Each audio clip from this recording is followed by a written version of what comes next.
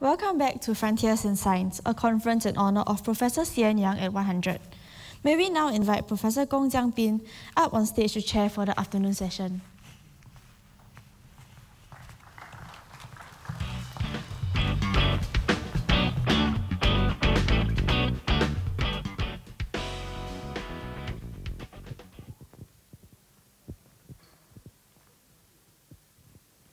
Good afternoon, distinguished guests, colleagues, students, ladies and gentlemen.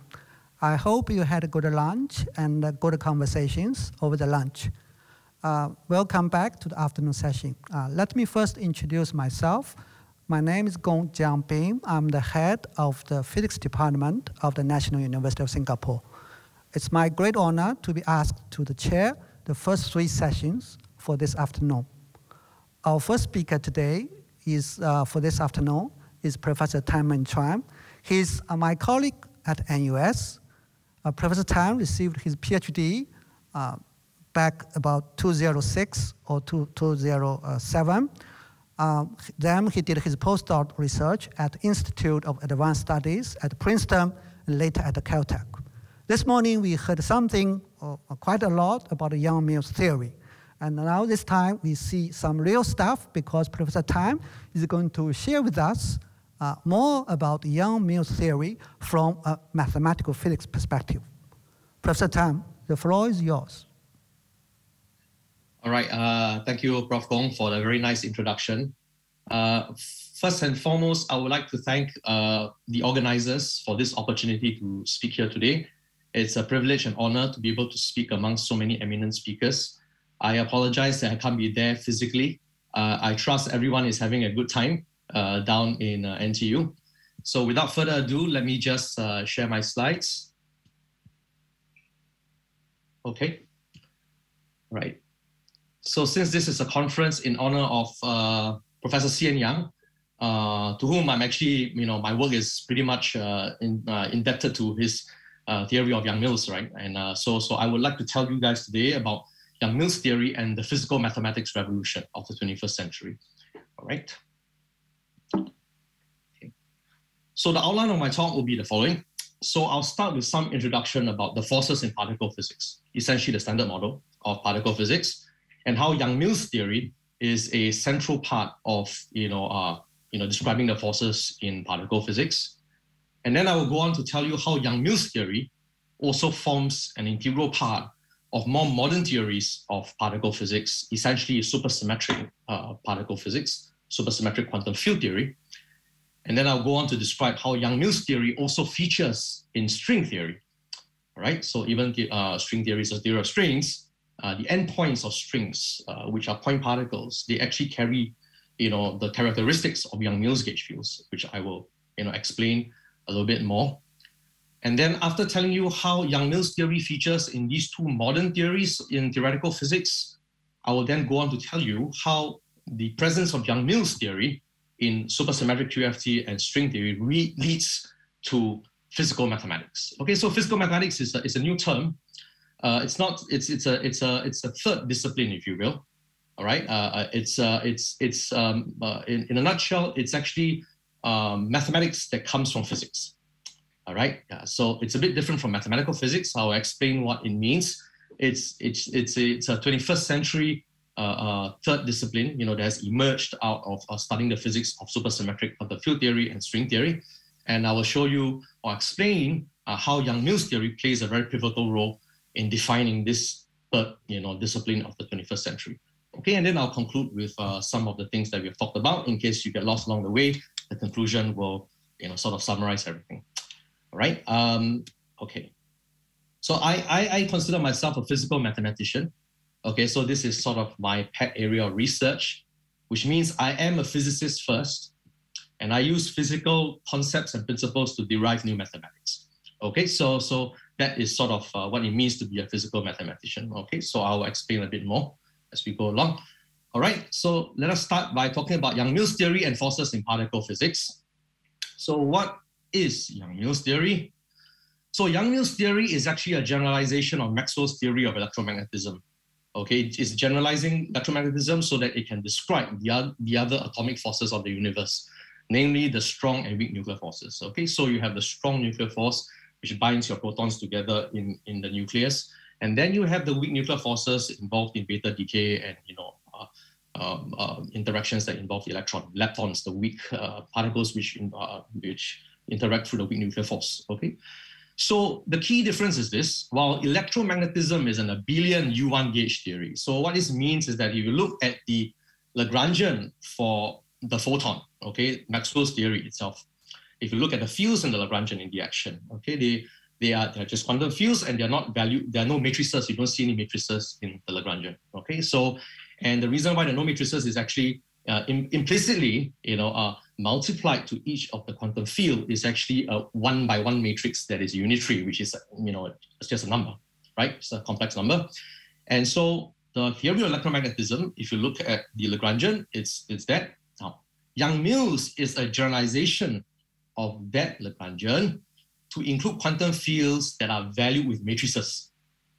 Okay, I'll give you an explicit example of what, what I mean in, in a short while. Okay, and, and if you do that, when Yang-Mills uh, came up with this formulation of, you know, a generalization of the uh, Maxwell's theory to include matrices in, in the Lagrangian, uh, specifically matrices which are, you know, two by two special unitary matrices and three by three special unitary matrices, okay, uh, then you are able to use, you know, that Lagrangian to describe the weak and the strong nuclear forces respectively.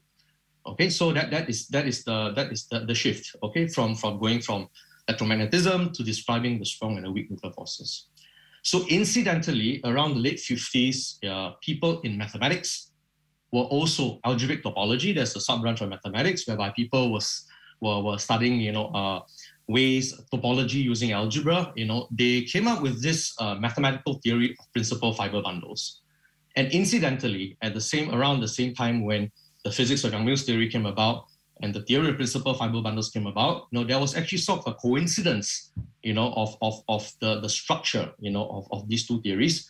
So then people saw that there was a mathematical interpretation of Yang-Mills, the physical Yang-Mills theory in terms of principal fiber bundles. And here already you can see the hints of why Yang-Mills theory would have an impact on mathematics, okay? Because to describe it, you can use the mathematical machinery of fiber bundles. And so if the physics tells us something about Yang-Mills theory, you know, then it will tell us something about uh, the mathematics of principal fiber bundles. Okay, so that is the sort of uh, the nice interplay uh, between Yang-Mills theory and the principle, the theory of principal fiber bundles in mathematics.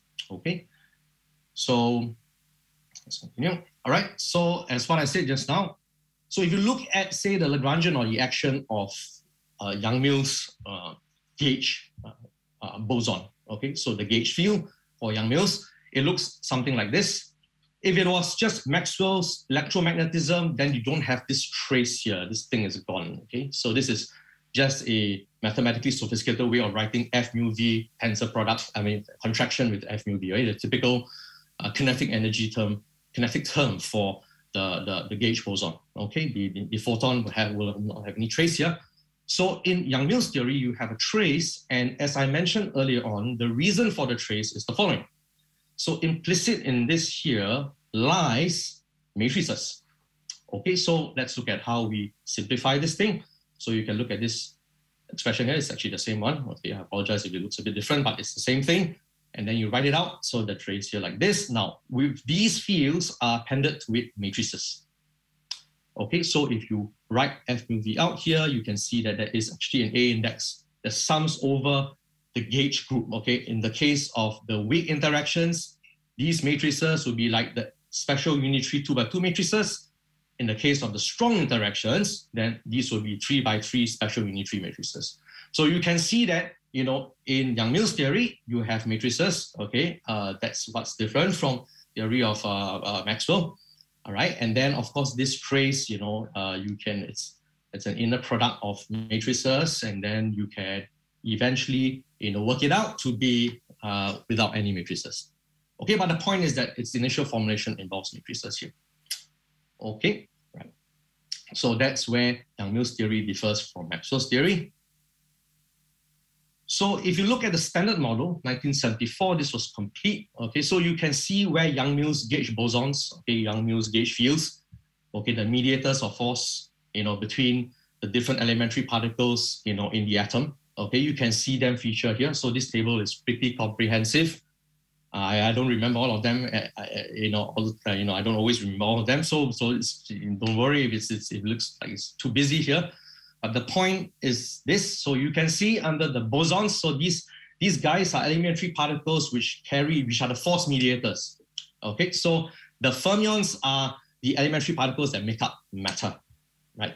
So if you look at an atom itself, uh, within the atom, okay, there's electron. So electron is, is an fermion because it's a matter, it's a matter particle. Okay. So if an electron here. Okay.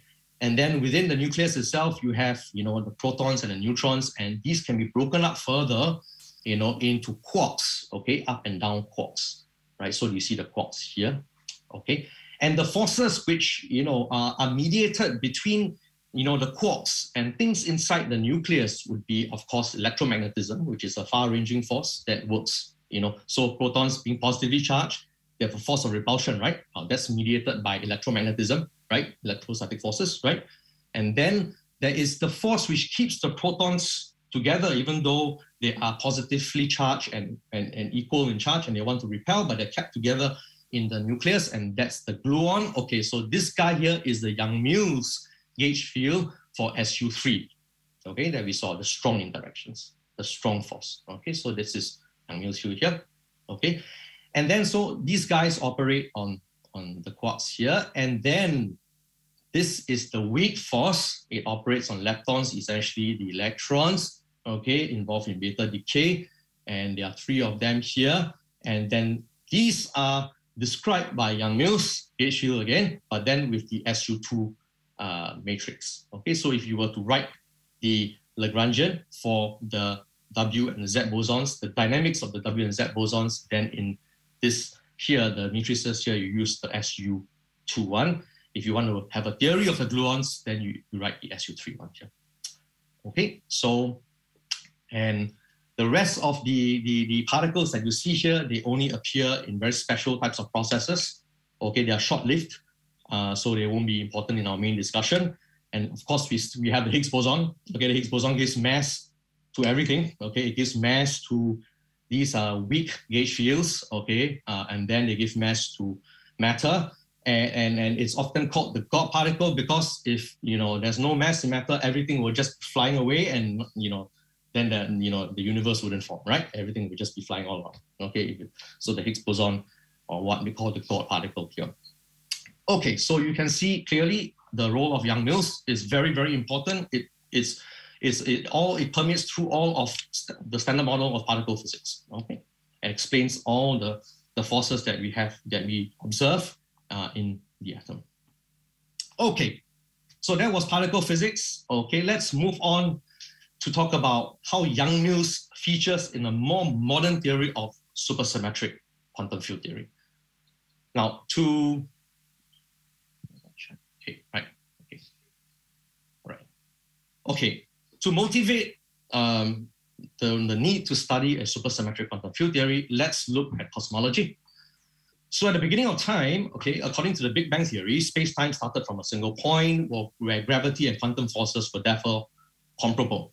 Okay, gravity is usually very weak, right? So if you look at gravity in, in a normal situation, you know, you put a pin on a table, you know, you put a magnet over it, you know, the pin gets attracted to the magnet, but the Earth is so large, but yet it can't beat the force of attraction by a magnet, you know, over a pin.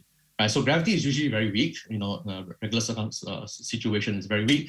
By the beginning of time, you know, where all of space-time is being crushed into one, the density, the mass density is so huge, gravity and quantum forces were therefore, you know, comparable, okay, in strength. So if we want to understand, you know, what happens at the beginning of time, the origin uh, in, of, of our universe, then we need to do some kind of unification. We need to have a theory which encompasses everything under a single umbrella. Okay, so let's look at some features of unification. So as I mentioned, the strength of coupling of gravity becomes comparable to other forces at the beginning of the universe. Okay, so gravity needs to be unified, as I've mentioned. So now if you look at quarks and leptons, lepton, quarks and leptons, these are you know matter particles which are involved in the strong uh, interactions. These are matter particles which are involved in the weak interactions like electrons, for example. Okay, so they have different masses, and there are many charges, coupling constants in nature, like electric charge E, Newton's gravitational constant, so on and so forth. And for the standard model itself, you will need to input all these things from experimental observation for it to work. Okay, so which means that you know, um, so so we if we were to search for a more fundamental theory, so all these masses, charges, and coupling constants observed in nature should be predicted by a fundamental theory. Okay, that's our hope that all these values can have a fundamental uh, first principles derivation of their values. Okay, and in that sense, if it's supposed to be a unified theory, then we, it's not unreasonable to expect that particles and the interactions to be manifestation of the same fundamental entity, right? So if you look at particles, you see the matter particles. Okay, let, us let's look at matter. They're, fermions, right? And then the the interaction, you know, the gauge fields, they are bosons. Okay, so uh, a unified theory would be. It's not unreasonable to assume that a unified theory is one whereby there is no distinction between a fermion and a boson, or fermion and boson are, are pairs. It's not, it's not unreasonable to assume that and that led people to study supersymmetry. Okay, let, let, let people to study supersymmetry. So attempts to find a unified theory in physics to understand the beginning of time and where, where, where all, all forces were comparably strong, people started to think about supersymmetry. So what's this supersymmetry? Okay, so it's it's it's it's a concept that unifies fermions and bosons. Okay, so it is a theory which you know says that uh, is an extension of our physical theory uh, to that, that will that will incorporate uh, particles which are super partners of what's already existing. Okay, so fermions and bosons are combined using the concept of supersymmetry, which implies that all fermions and bosons comes in pairs with equal masses. Okay, so for example, if you supersymmetrize your regular theory, then for every theory that has an electron in it, if you supersymmetrize it, then it comes with a selectron, okay, which is bosonic nature. So its spin is integer instead of spin half. Okay, so it's integer spin. And then same thing, if your theory has a photon, okay, then you would have a photino. Okay, and of course, if you have you know a quark, okay, then there will be a squark, and then the gluon, you know, the strong uh, uh, force uh, that keeps photons together, and then you have a super partner, which is a spin, uh, spin half integer spin uh, gluon, gluino here. Okay, so so so that's that's what supersymmetry is. The motivation for supersymmetry is to actually find a sort of a, a more all-encompassing theory which will you know have a symmetry between fermions and bosons. Okay, in an attempt to unify everything. Okay, and so Yang-Mills theory can also be supersymmetrized. So if you remember, we started with this here. Okay, we started with this here. All right, this is say in four dimensions that we are typically familiar with, there is d4x here. Okay, this is a four-dimensional uh, action. Okay. Um, now, if you want to supersymmetrize, you know, Yang-Mills theory, then you write it as this. Okay, you can look. The form is pretty similar. Okay, it's pretty similar. So instead of f that we saw earlier on, we got a w here. So instead of nothing, nothing meant implicitly it was d4x there you have a d squared theta. Okay, so this is the the Lagrangian or the action of, of a supersymmetric version of Yang-Mills theory. So what is supersymmetric about it? So you notice that if you look at the measure here, okay, what's really, what's what's actually the explicitly here is d4x, space-time, and then d2 theta. Now, these are extra coordinates in addition to normal space-time. This is what we call the measure on superspace. Okay, superspace means you have your normal space-time, and then you add two other coordinates or more, two, four, six, depending on how much supersymmetry you want. Okay, and these coordinates are special. They're called Grassmannian coordinates. Okay, so they don't commute. The numbers don't commute. Okay, they are like mm, they are a bit fermionic kind of nature. Okay, so that's how you see it. And then instead of writing your regular field strength, you know, which you saw was F just now, we write a field strength in superspace. So this is what we call a superfield. Okay, and inside a superfield, the dependence is on x. Okay, x is a space-time dependence, and it also has a theta dependence. Now, so this was the start of how people first defined supersymmetric version of Yang-Mills, Okay, and then if you integrate out the theta variables, you do get, you are left with the d4x, and then you do get an expression that is purely in terms of normal spacetime, d4x. Okay. Now let's look at this expression now. So initially, if you remember, we only had this term. Okay, now we have this, this whole thing here. Okay, so let's look at this. So we have here, of course, the regular field strength for the gauge field. Now we have this, the gaugino. So this is actually a fermion. And this is the super partner of the gauge field. Okay, so it appears very nicely. So you start off with a supersymmetric uh, version of, of, of the, the, the, the kinetic term or the kinetic Lagrangian for the field strength. And then when you actually uh, determine it by integrating out the, the these, these two variables here in four space-time dimensions, you actually get this. Now, this is an auxiliary uh, field because it's got no connect, no, no, no dynamics. You know, you can integrate out using equations of motion. Now, this term here is just the instanton term. Okay, so to every Yang-Mills theory, you can have topological configurations that appear in an instant in time. Okay, so so this is the theta angle. You could have set this to zero if you do not want to consider topological configurations. So that's that's that's fine here. It doesn't affect anything. Okay, so and so you can see. So this is the simplest supersymmetric extension of Yang-Mills theory, whereby you have the gauge fields and its field strength, and then you have the gauge gaugino basically. Okay, which is the fermion that accompanies the the gauge field here.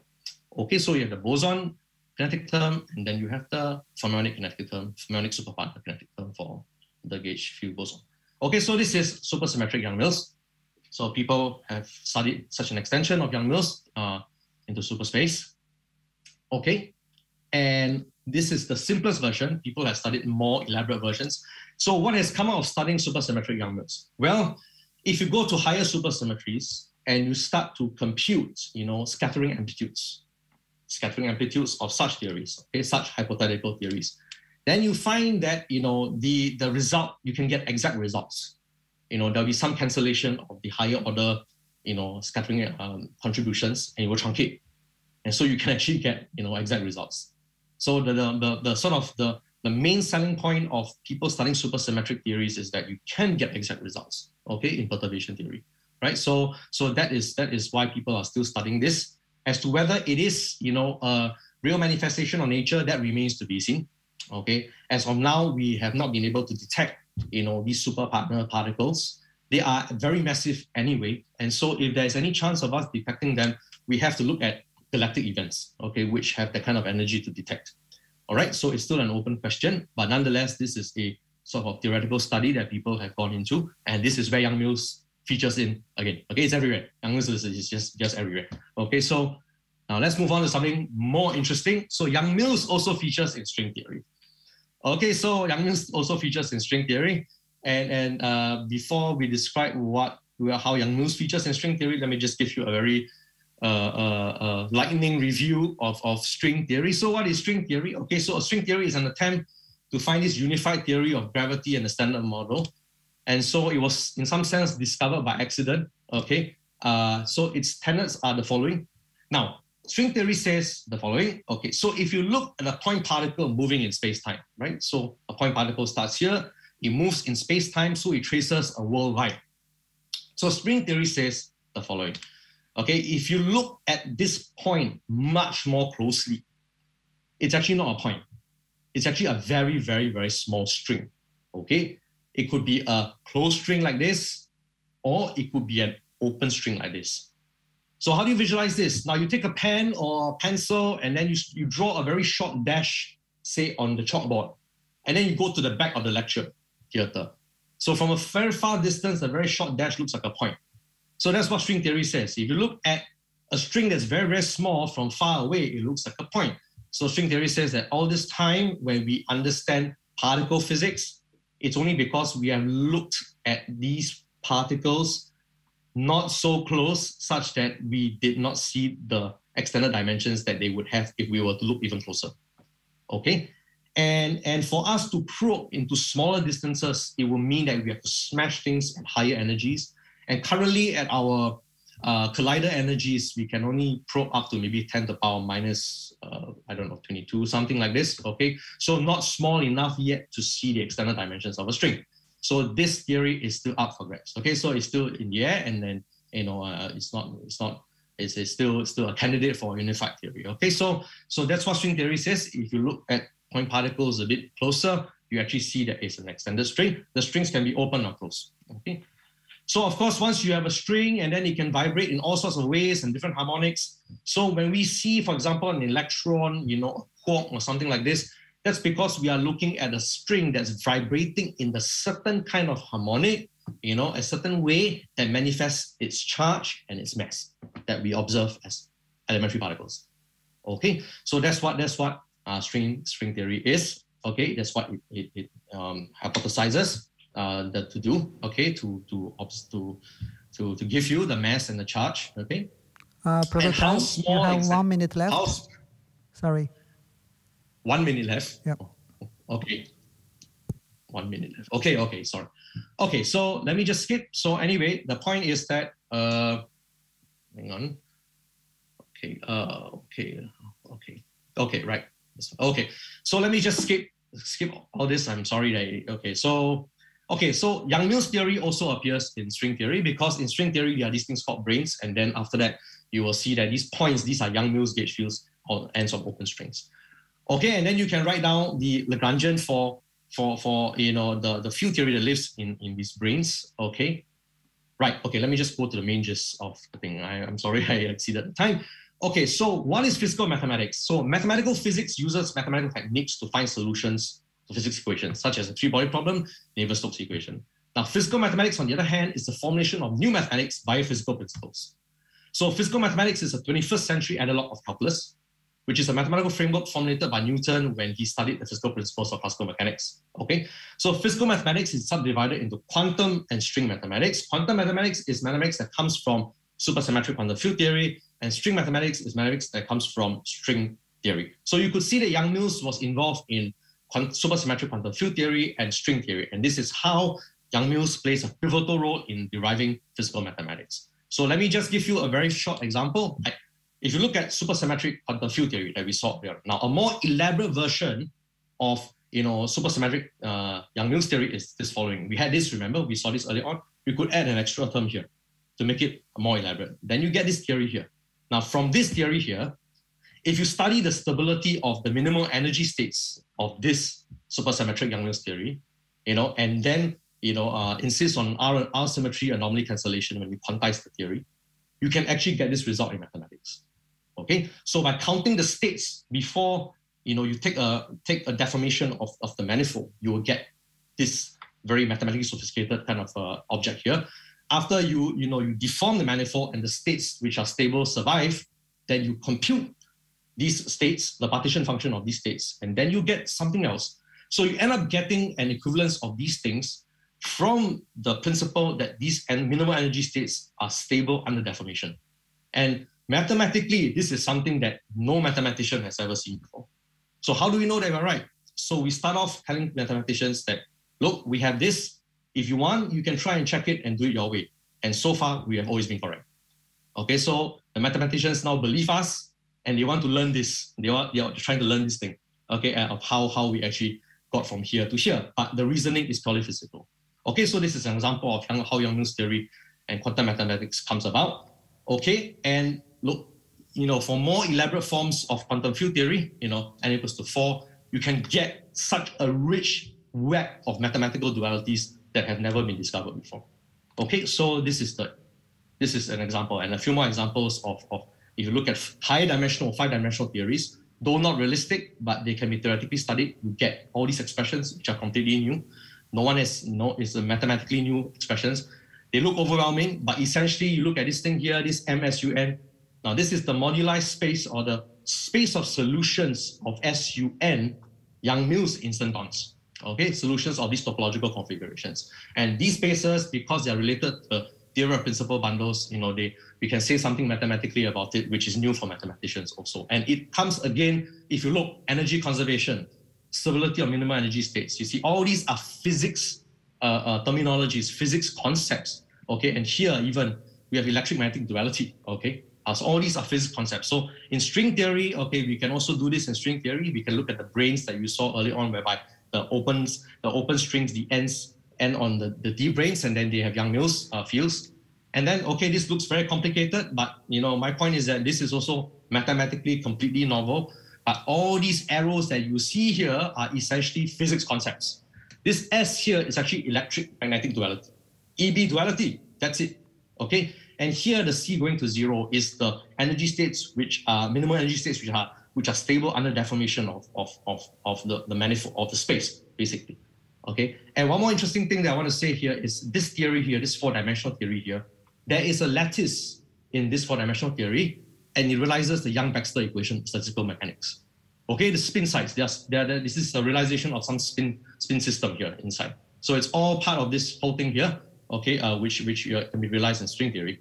Okay, so let me just conclude. I that was a bit much faster than I realized. Okay, so in conclusion, okay, Yang-Mills theory, which is the backbone of particle physics, is also ubiquitous in more modern theories such as supersymmetric, supersymmetric QFT and string theory. The presence of Yang-Mills theory in these modern theories has helped revive the deep relationship between physics and mathematics, uh, first seeded by Isaac Newton, who himself formulated the mathematics of calculus through an attempt to understand the physics of motion. This has led to serious attempts by an increasing number of leading mathematicians to learn the physics or the gauge theory, okay, gauge theory from Yang-Mills of QFT and string theory. So prominent examples include Fields medalists like Kontsevich, Ponyukov, Yau, Deligne, among others. So clearly, Yang-Mills theory is essential to the physical mathematics revolution of the 21st century, right? Where physics is once again a fertile source of new mathematics, like how mechanics was the source of calculus. Okay, thank you. I hope you enjoyed the talk. Uh, it went faster than I expected, uh, so I hope it was fine for most people. You could understand what I was saying. If not, you please feel free to ask questions. I'll be more than happy to answer uh, whatever you ask. Okay.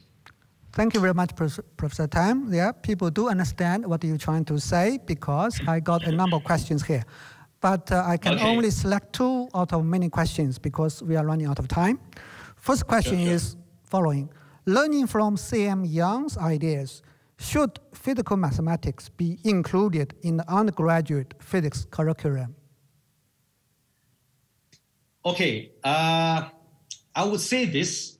It shouldn't, it need not be compulsory, but it can be for those people who are interested to, to, to know in the 21st century how physics is now giving back to mathematics. Okay, so if you want to feel proud as a physicist, then it's something that you ought to know.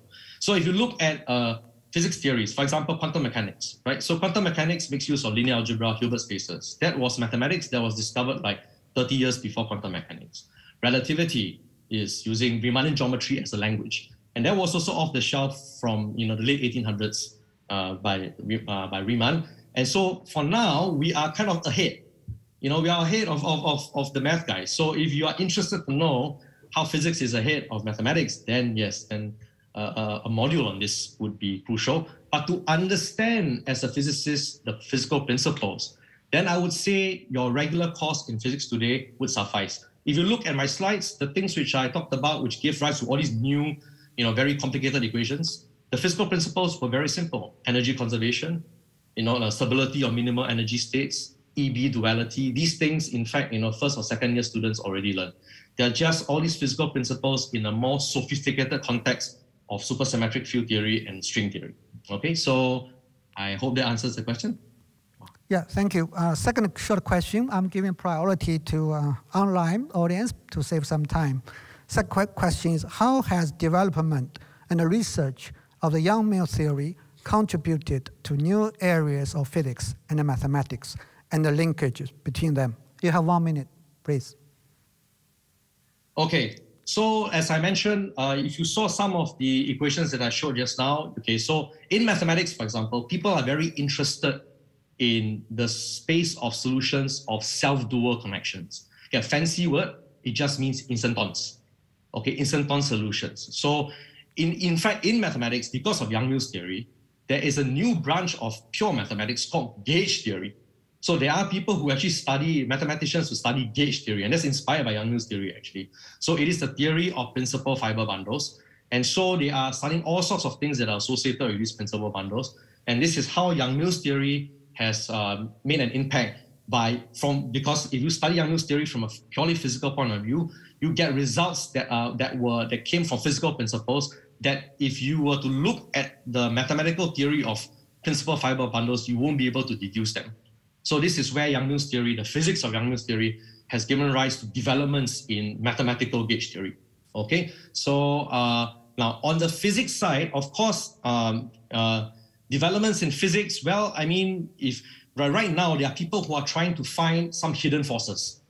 Okay, some hidden forces like a fifth force and everything. Okay, so this is still you know up in the air, but you know, so so and that will definitely anything that has a force, anything that involves a force would involve Yang-Mills theory. Okay, so so this is uh, how Yang-Mills theory has influenced uh, both currently influenced both mathematics and also influenced both you know, new physics.